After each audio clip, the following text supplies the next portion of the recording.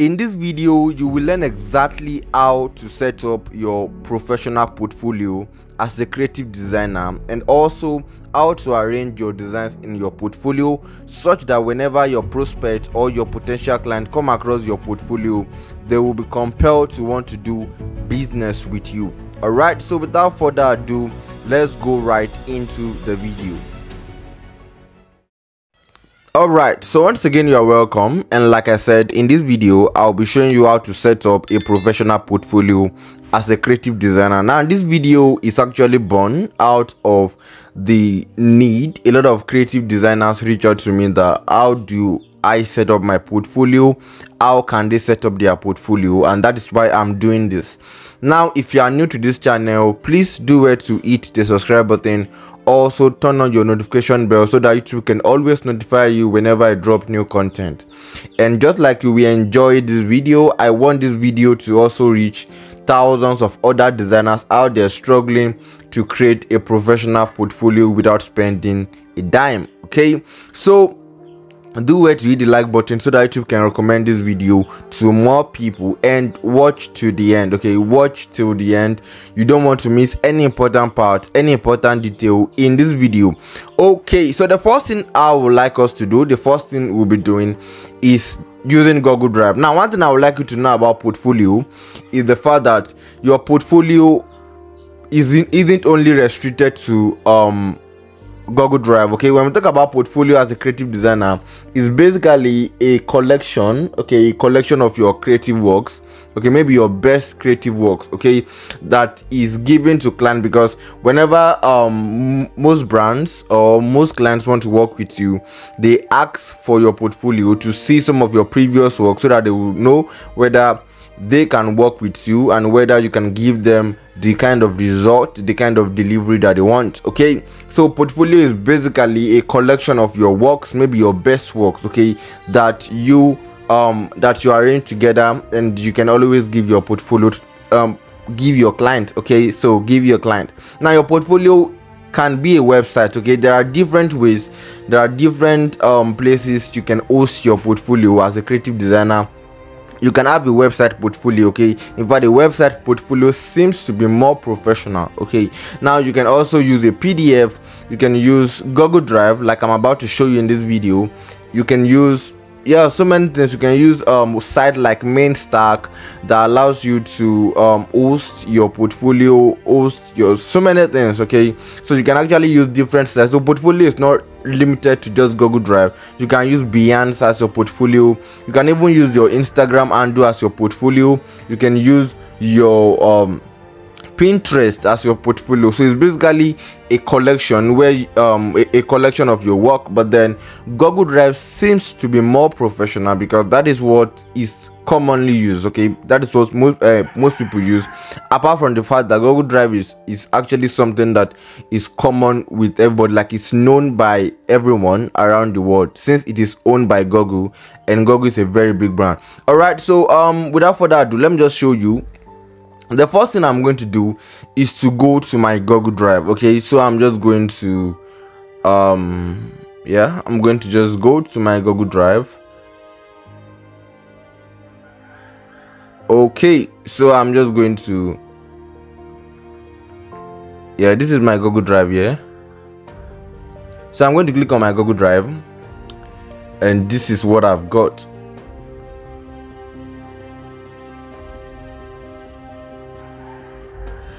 all right so this is my google drive. I'm in my google drive now okay? So it's very simple. Just if you don't have the um, app on your phone you can download the app all right so i am uh, logged in on my email okay? So i have a couple of emails here. I have a couple of email accounts here but then this is my main email account okay? Now let me show you how my portfolio looks like okay? So um this is my portfolio. Yeah click on portfolio. And then look at inside my portfolio i contain different um different sections of de designs. Okay look at this. This is brand identity designs. This is flyer designs. This is linkedin banner designs. This is just logo designs. Actually very different from brand identity design okay this particular one is just for logo designs. These are my client reviews. So i just thought okay i need to also put my client review in my portfolio all right? Then this is social media designs okay? Then this is youtube thumbnail designs okay? That's uh, you mostly see my youtube thumbnail there okay? And um, they're amazing. So i thought i can host them in my portfolio.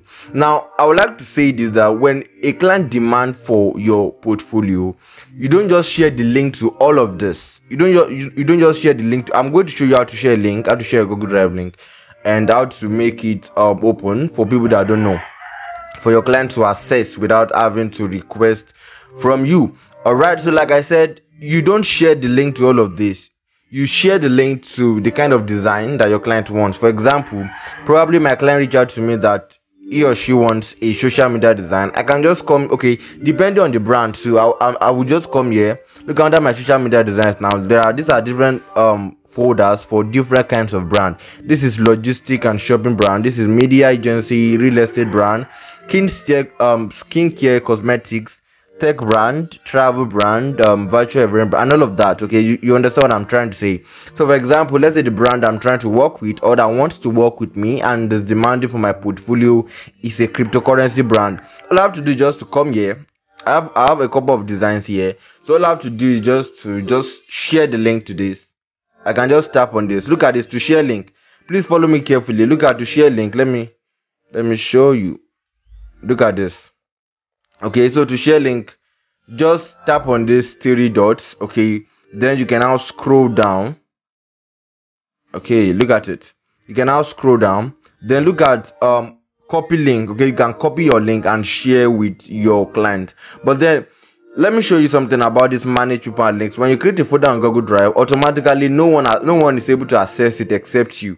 And that is why you will not probably in your own you are not going to see this icon. Look at this human icon let me show what i'm talking about this icon this particular icon.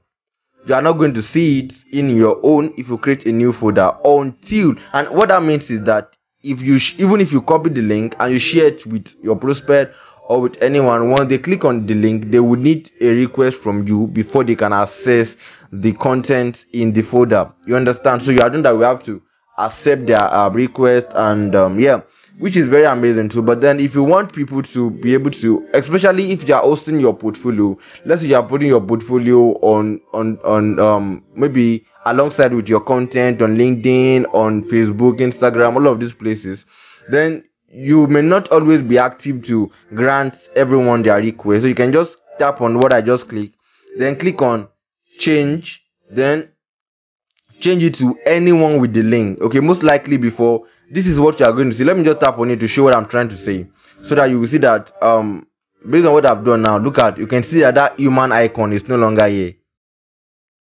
You can see that that icon is no longer here. Why? Because if i decide to share this link now with anyone they are not going to be able to access it until i accept their request. But then that is not what i want because i may not always be available to um yeah. So just click on this tap on this then click on anyone with the link and you can also copy your link from here. Look at it. Pay attention my cursor you can also copy your link from here. Look at it. Link copy to clipboard. Now i can share my link with anyone. Okay so basically this is just for social media designs right? So if my client um um the first thing i have to decide when, my client asks for my portfolio is what kind of design does my client want? Okay what kind of what um kind of design does my client want? And if it's social media designs i go ahead and also confirm what is the niche? What is is our niche so that i can share portfolio? Because i don't want to stress myself uh, stress my client with having to check out through the folder just to get what she needs. No it doesn't really make sense. This is for flyer designs okay? So let's say that my client wants flyer designs. I can easily share okay? I can easily share this link okay? This is for linkedin banner designs all right so these are just for different kind of designs. These are my client reviews okay? Just few of them all right so um that is basically my portfolio. Now to create a folder let me just show you quickly how to create a folder on google drive. Click on plus okay? Then um look at folder look at upload look at scan look at all of this. I'm not concerned about them in this video. All right i just want to show you how to create your portfolio. Now if i click on upload here what it means is that it's going to upload my file into this particular um folder. It's, it's not going to upload my um uh, my file into my portfolio because you know you you want your portfolio to be organized right? Yeah. Okay so click on plus. First of all create a folder before you start uploading. Create a folder then you can name the folder portfolio right? You can name the folder portfolio or whatever you want to name it portfolio portfolio or, or anything okay? Then after doing that you can click on done. And then folder created. Okay let me just scroll down. Let me scroll down. Let's look for the folder. Okay where's portfolio? All right this is folder i just created. Look at it. You can see what i'm talking about. Look at this look at the icon here. The icon is not here. That is what you um you also um experience. Okay so you have to eventually allow people to be able to access it by following the process I showed. So now tap on this and the folder is empty, right? This folder is empty. You can now click on plus and begin to group if you want to group just like I grouped mine too. So you can now click on you can now you can now create another folder again and then title it maybe flyers, flyers for example, flyers. It all depends on what you want to do. Okay, so there is no one size fits all for this. So it depends on what you want. Now done and the folder is created. Now i can now click on this. Then click on plus. Let me now upload. Look at now. Click on upload. Tap on upload and let me upload my flyers. Okay let me upload my flyer.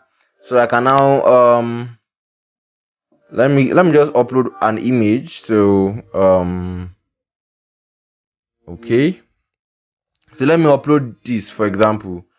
So um this image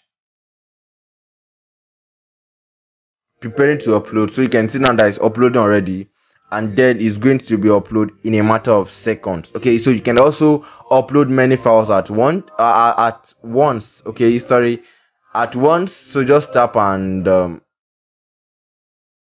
think there should be an okay look at select all. Or you can just select the few you feel you need okay? But then i don't want to select all. My point is just that uh, which i know you've gotten is that you can select more than one actually. You can actually select more than one and um, upload more than one at the same time.